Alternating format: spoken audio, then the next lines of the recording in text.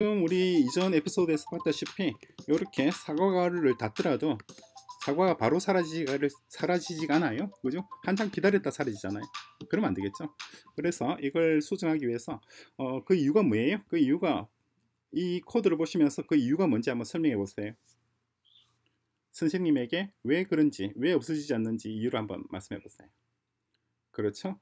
앞에 보시면은 논리적 흐름이 그래요 1초에서 3초 사이에서 기다렸다가 그죠? 쇼 나타나죠. 그런 다음에 3초를 기다렸다가 숨잖아요. 그죠?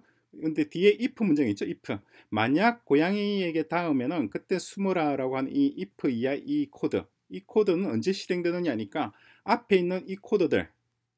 첫 번째 1초에서 3초 사이 기다린다 3초 동안 기다렸다 숨는다. 이 코드가 완전히 수행되어야지 그래야지 얘가 얘가 동작을 하는 거예요 그죠?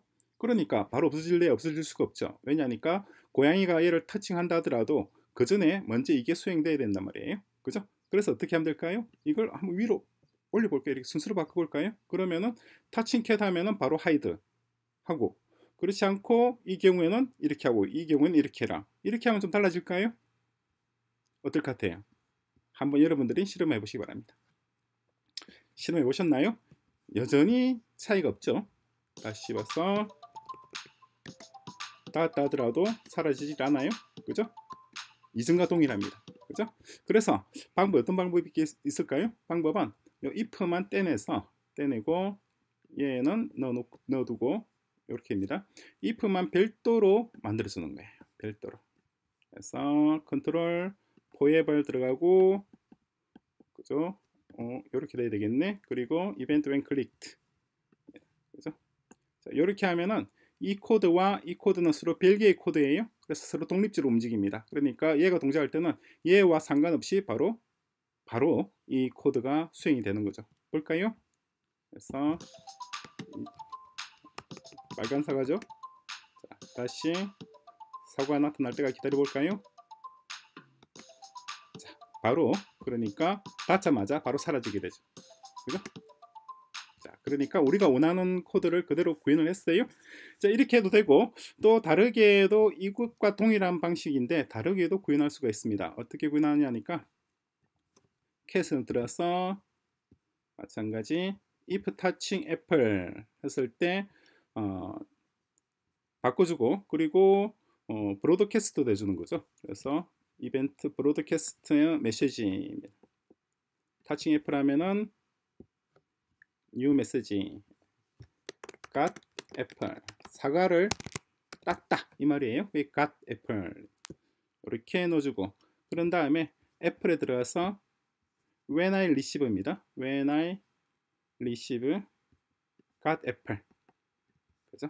내가 got apple이라고 하는 메시지를 받았을 때 그때 hide 한단 말이에요. Hide만 복사를 해서 붙여넣어 주는 거죠. 자, 이렇게 해줘 볼까요? 이렇게 자 다시 짠 똑같죠? 이전과 동일하게 고양이가 닿자마자 사라지고 그리고 점수가 스코어가 이로 올라가고 우리가 원하는 그대로의 코드가 된 거예요 그죠? 간단하죠? 자 그럼 끄다가 지금 이 코드 현재 이 코드잖아요 이 코드를 그대로 끌어서 사과2에도 넣어주고 사과3에도 넣어주고 그리고 얘도 끌어서 사과2에도 넣어주고 사과3에도 넣어주고 그죠? 자, 그럼 사과2 내용해 볼까요? 애플 2도 이전에 있는 코드와 동일하죠? 동일한 코드이고 그리고 apple도 얘도 3도 이전과 동일한 애플 1과 동일한 코드입니다. 그죠? 그런데 어, 둘 다 뭐 1초에서 3초 랜덤이니까 나타나오는 순서는 이제 상관이 없겠죠. 볼까요? 클릭해서 얘도 오 그렇죠? 보니까 사과와는 그대로 스코어가 연결되는데 나머지들은 잘 안되고 있어요. 그죠? 이유가 뭘까요? 그렇죠? cat에서 touching apple로 끝나는 것이 아니라 애플 1으로 끝나는 것이 아니라 애플 2, 애플 3, apple까지 다 해줘야 될 거 아니에요. 그죠? 그래서 오퍼레이터 들어서 OR이죠. OR. OR. 그래서 그리고 OR도 한 번 더. 어디 있나요? OR 한 번 더. 그래서 OR이 세 개까지 만들어져 있어요. 그죠? 그런 다음에 touching apple 첫 번째 하나 하거나 혹은 자, 그대로 가져와서 얘를 그대로 복사를 할게요. duplicate 해서 이번에는 애플 2 그죠? 애플 2 어디 갔나요?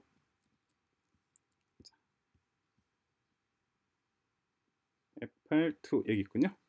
그대로 한 다음에 또다시 얘를 duplicate 해서 가져다 놓고 이번에는 애플 3 응. 자, 여기 가서 애플 2를 애플 3로 바꿔주겠습니다. 애플 3 바꿔줬어요. 자, 그런 다음에 그런 다음에 얘를 다시 넣어주죠.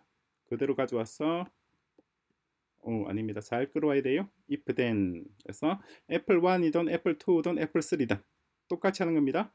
그리고 마찬가지 얘 전체를 복사를 해서 duplicate 해서 두고 그런 다음에 얘는 지워버릴 거예요. 지워버리고 엉뚱한 게 복사됐나요? 그대로 가져올게요. 이렇게 자 조금 산만하게 됐습니다만은 자 바꿔줬어요. 자, 전체 그림은 이런 그림입니다. 그러니까 코드를 다시 해볼까요? 이런 코드예요. 애플 1이든 애플 2든 애플 3든 어떤 것이든 터치를 하면은 그럴 때 got apple하고 그리고 어쨌거나 또는 얘네들이 떨어질 때까지 기다렸다가 스코어를 1만큼 바꿔주라 이렇게 하는 거죠. 그죠? 다시 한번 보겠습니다. 조금 키워볼까요? 키워서 다시 시작. 사라지고 그죠? 그렇죠? 이제 똑같죠? 점수도 올라가고 정상적으로 등장하고 있나요? 짠. 짠 제대로 동작하고 있습니다. 그런데 지금보다는 조금 더 간단하게 지금 이 효과도 그대로 어, 효과를 그대로 보되 코드를 좀 더 단순하게 할 수 있을 것 같아요. 어떻게 하면 지금 코드보다 조금 더 단순해질까요? 한번 생각해 보시기 바랍니다. 다음 에피소드에서 연속해서 말씀을 드릴게요.